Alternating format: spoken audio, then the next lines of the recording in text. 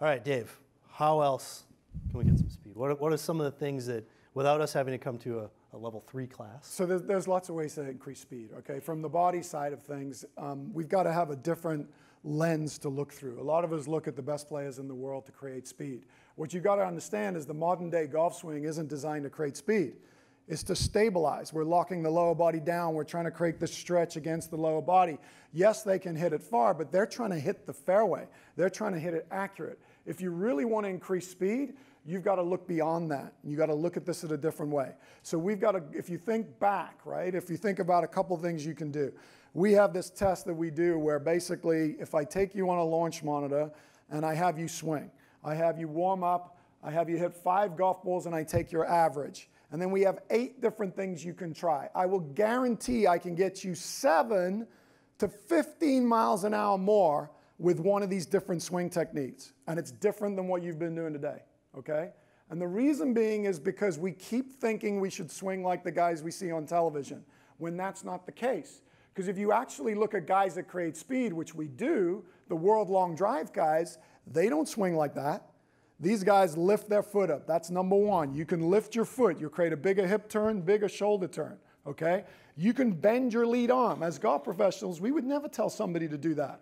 But if I've got somebody that's got difficulty getting speed, this is another way, another link in the kinematic sequence, another, another lever that I can create.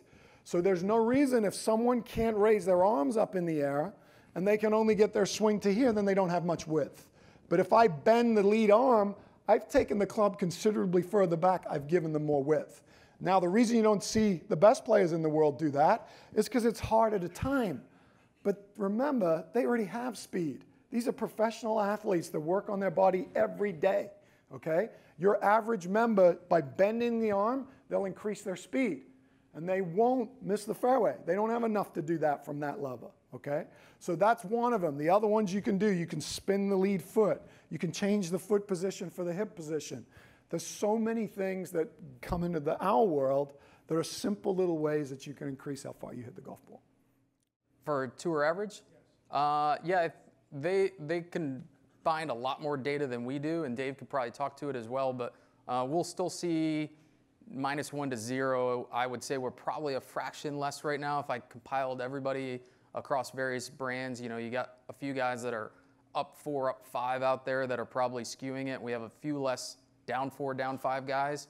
So I bet you if we did a recompile, we're probably closer to zero. But Dave, what are you seeing? Yeah, I mean, I see the same thing. I mean, I see, you know, on tour, they're trying to hit a shot or a shape, so they're usually zero to one down.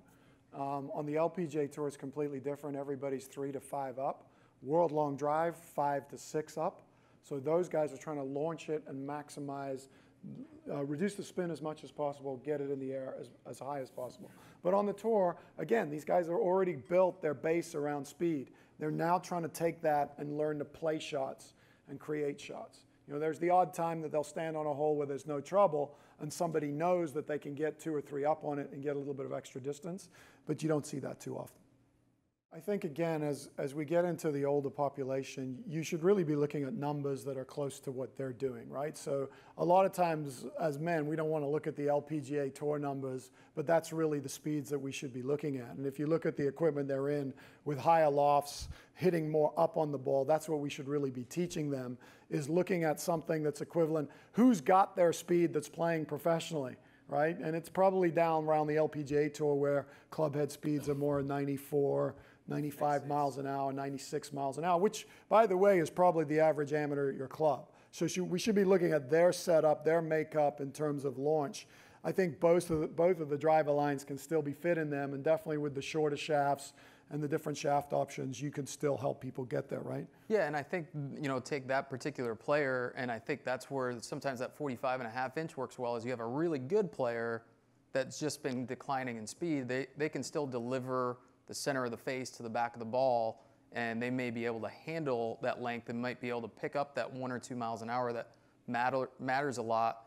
And they might be that um, player that with that longer shaft, we can get that attack angle to pitch maybe two to three degrees up, more like an LPGA player, um, versus, okay, let's stay on top of it, let's get that one down, let's control face angle, is they just want to send it.